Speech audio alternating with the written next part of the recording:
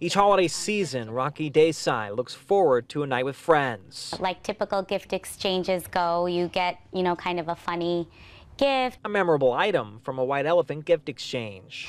There's always some sort of funny adult, you know, calendar cookbook that goes around. By the end, Desai got this teddy bear. The way it ended up, nobody tried to steal this from me and She took it home and thought nothing of it. yeah, it was Wednesday the 12th of December. Two weeks later, she decided to learn more about the brown bear with the stitched heart. The words Neptune Society are on its foot.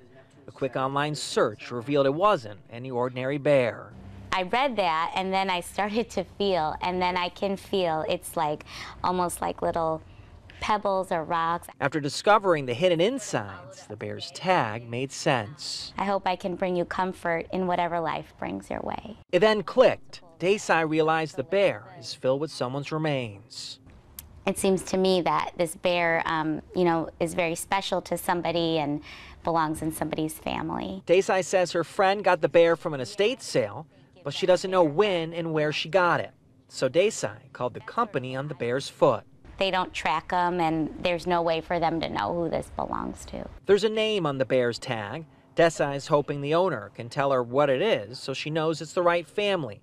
After getting the bear at a holiday party, she now hopes this real life white elephant exchange will reunite the bear with its owner. Miracles happen every day, so if there's a positive end to the story, that'll be great. Nick Natario, ABC 13 Eyewitness News.